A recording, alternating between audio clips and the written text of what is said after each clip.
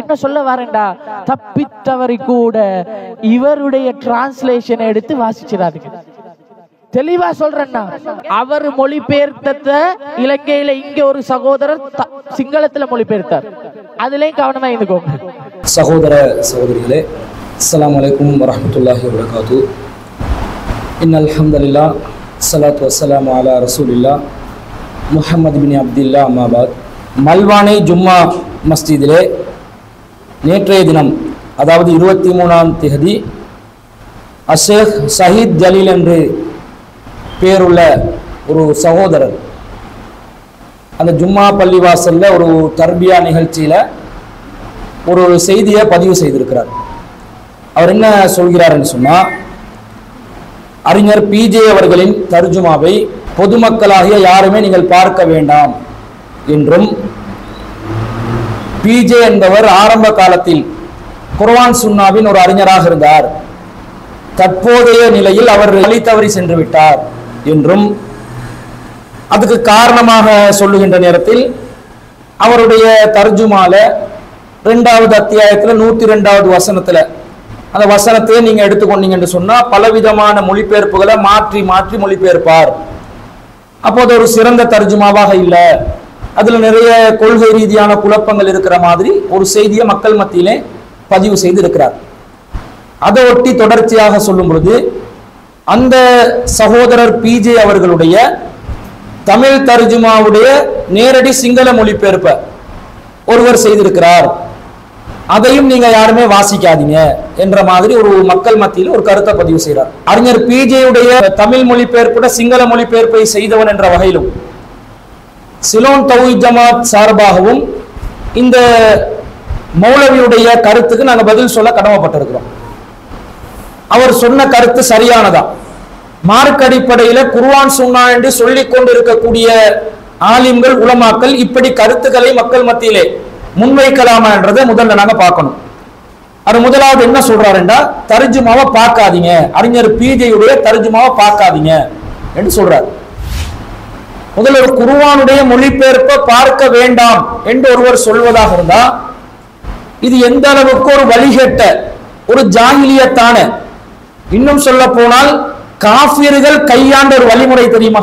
ஆரம்ப காலத்துல ஜாகிலியா காலத்துல வாழ்ந்த காஃபியர்கள் நபிகள் நாயகம் ஸல்லல்லாஹு அலி வசல்லம் அவர்கள் திருக்குருவான எடுத்து சொல்லும் பொழுது குருவானுடைய வசனங்களை அடுக்கி அடுக்கி சொல்லும் பொழுது அவங்க எடுத்து வைத்த முக்கியமான வாதம் என்று சொன்னா வக்கால் அல்லதீன கஃபரு காபிர்கள் சொன்னார்கள் லா தஸ்மஉ லிஹாதல் குர்ஆன். இந்த குர்ஆனை நீங்கள் செய்மடுக்காதீர்கள். வல்கௌ ஃபீஹி லஅல்லக்கும் தகலிபூன். நீங்க வெல்லணும் என்று சொன்னா வெற்றி அடையணும் என்று சொன்னா நீங்க மிகைக்கணும் என்று சொன்னா அந்த குர்ஆனில் நீங்கள் வீணானதை ஏற்படுத்துங்க குழப்பங்களை ஏற்படுத்துங்க என்று சொல்லி காபிர்கள் சொன்னாங்க. இப்ப காபிர்களுடைய அடிப்படையான வாதம் என்ன இருந்துச்சு? குர்ஆன் வசனங்கள் ஓதி காண்பிக்கப்படுகின்ற நேரத்தில் அந்த வசனங்களுக்கு பதிலடியாக அவங்க எதையுமே சொல்லாம அந்த வசனத்துக்கு மறுப்பு தெரிவிக்கக்கூடிய விதத்தில் அவங்க அந்த வாதங்களை வைக்காம என்ன சொன்னாங்க? இதை கேட்காதீங்க. கேட்காதீங்க என்றால் அந்த அந்த காலத்துல வாழ்ந்த அரபு மக்களுக்கு நேரடியா செவி செவிமடுத்தாலே அவங்க அந்த குருவானுடைய வசனங்களோட அர்த்தம் விளங்கிடும் ஏன்னா அவங்க அரபு மொழி பேசக்கூடியவங்க. அப்ப கேட்க வேணாம் என்று சொல்றது காஃபிர்களுடைய ஒரு வழிமுறை இந்த காலத்துல பார்க்க வேணாம் என்று சொல்ற மாதிரி தான் இது ஒரு காஃபிர்களுடைய வழிமுறையா இல்லையா? முதல்ல குர்வான் சுன்னால இருக்கிறவங்க. எ- இந்த புத்தகத்தை நீங்க பார்க்காதீங்க அந்த புத்தகத்தை பார்க்காதீங்கன்னு மக்களை வந்து ஒரு புத்தகத்தை விட்டு தடுக்கிற வேலையை பண்ணலாமா? எதை வேணாலும் வாசிங்க. குர்வான் சொன்னாலும் ஆதாரம் உள்ளதை எடுங்க. அப்படித்தானே சொல்லணும். அதுதானே இஸ்லாமிய வழிமுறை. அல்லாவும் திருக்குருவான் அப்படித்தானே சொல்றாங்க. என்னுடைய அடியார்களுக்கு நற்செய்தி சொல்லுங்கள். அல்லதீன யஸ்தமியூனல் கவுல ஃபயத்தபியூன அஹ்சனா. அவர்கள் சொல்லை செய்மடுப்பார்கள் அதிலே அழகானதை பின்பற்றுவார்கள். அப்ப சொல்ல செய்மடுக்கக்கூடிய அந்த வாய்ப்பை கொடுக்கணுமா இல்லையா? ஒரு செய்தியை பார்க்கறதுக்குரிய வாய்ப்பை கொடுக்கணுமா இல்லையா? கொடுத்துட்டு தான் அதுல குருவான் சுண்ண அடிப்படையில இருக்கிறத ஏற்றுக்கோங்க இல்லாததை விட்டுருங்க. இப்படித்தானே சொல்லணும். அதை நான் பார்க்க வேணாம் என்று சொல்ற இந்த தத்துவம் இந்த வாதம் ஜாயிலியா கால மக்களுடைய ஒரு வாதமா இல்லையா? அதை இன்னைக்கு சலப்பு உலமாக்கள் என்று சொல்லக்கூடியவங்க தாங்களும் குர்வான் சொன்னால்தான் இருக்கிறோம் என்று சொல்லக்கூடியவங்க இதை ஒரு வாதமாக சொல்ல முடியுமா என்பதை நாங்கள் சிந்திக்கணும். பிஜே என்பவருடைய இந்த தர்ஜுமாவை அதை வந்து நாங்கள் பார்க்க கூடாது அதுல தவறு இருக்குது.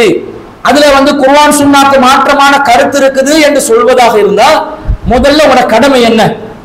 அந்த அறிஞர் உயிரோடு வாழ்ந்து கொண்டிருக்கிறார்.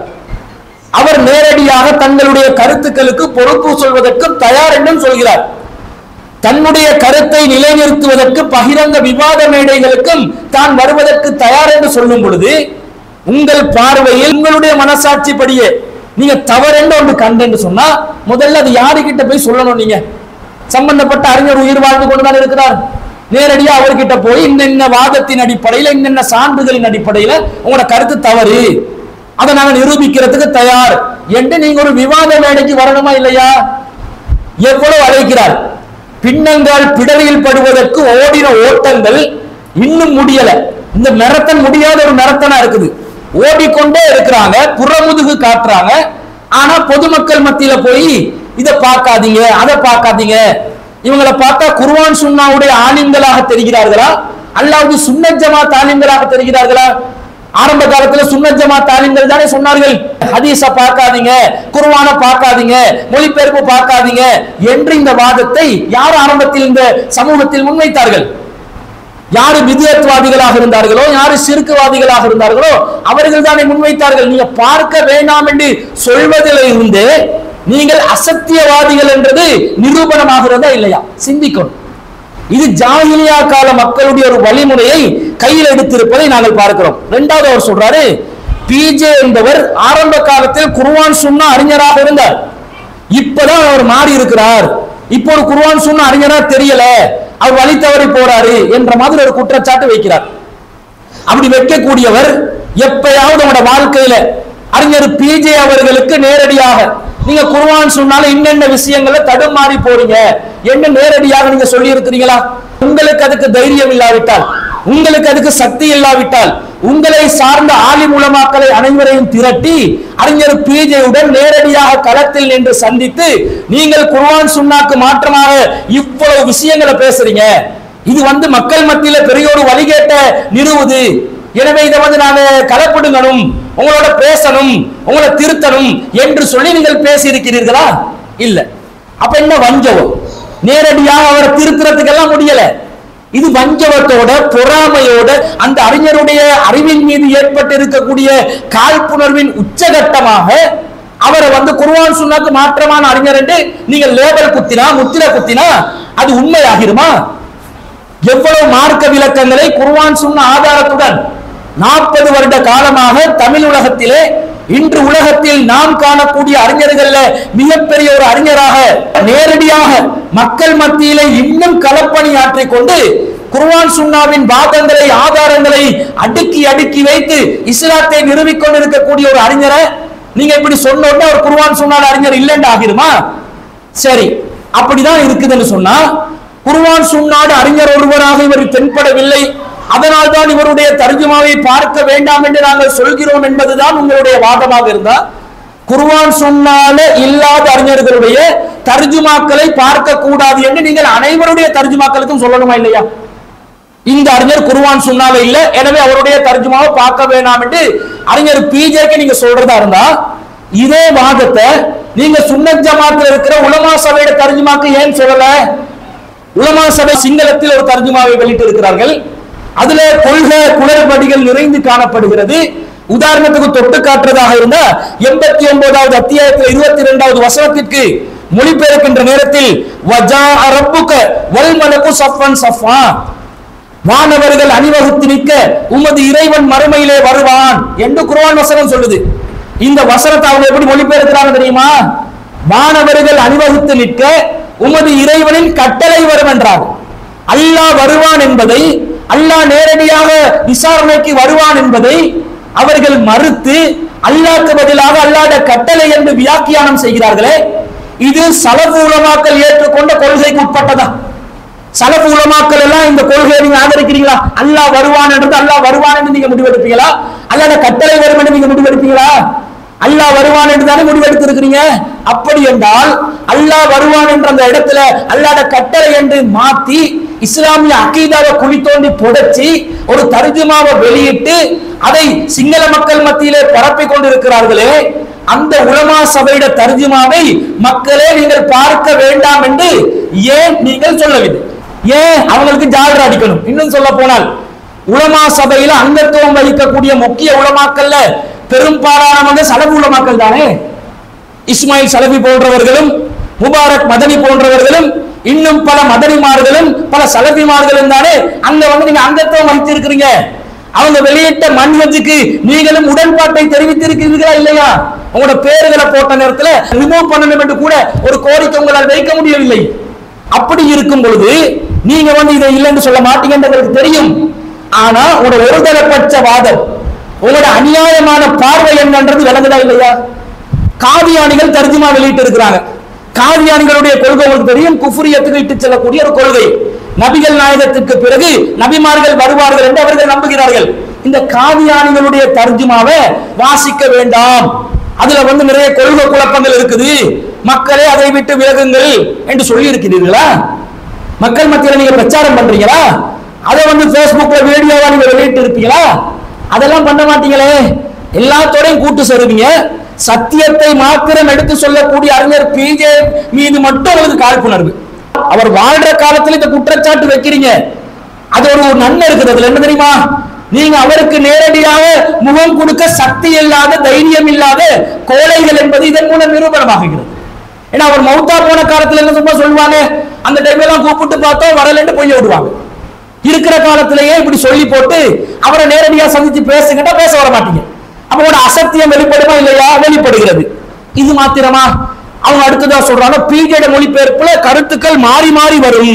நிறைய மாற்றங்களை உண்டு பண்ணி பண்ணி சொல்லுவாரு. ஏய் காரணத்தோட ஒரு மொழிபெயர்ப்பு மாத்தினா தப்பா? ஒரு விஷயத்தை ஒரு ஹதீஸின் அடிப்படையில் இந்த வசனத்தை விளக்கத்தோடு மொழிபெயர்க்க வேண்டும் என்று ஒரு விளக்கம் பிறகு கிடைத்தால் அதை வந்து ஒப்புக்கொண்டு அதை நியாயம் என்று ஏற்றுக்கொண்டு அந்த ஹதீஸின் விளக்கத்தினிடமோ அல்லது மேலதிகமாக குர்வான் வசனத்தின் மூலம் கிடைக்கக்கூடிய ஒரு விளக்கத்தினிடமோ அந்த மொழிபெயர்ப்பை மாற்றினால் அது தவறான்னு கேட்கிறேன் இல்ல மாறி மாறி மாறி மாறி வருது. மாறி மாறி மாறி வருவதனால் பிஜேயின் தர்ஜுமாவை வாசிக்க வேண்டாம். இலங்கையில கிட்டத்தட்ட சிங்களத்துல ஒரு ஒன்பது தர்ஜுமா தமிழ்ல ஒரு பத்து தர்ஜுமா வெளியிடப்பட்டுள்ளது.